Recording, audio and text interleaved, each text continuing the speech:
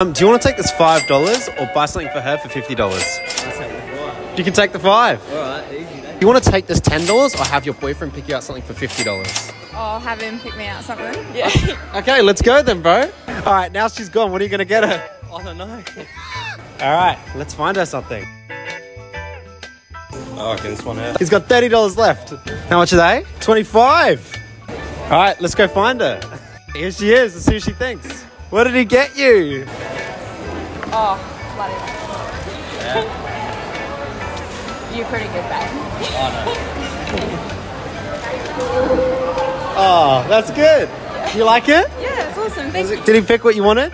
Yeah, look, I needed some new shoes and a hat. Definitely good. Yeah. Perfect. Well, you guys have a good day.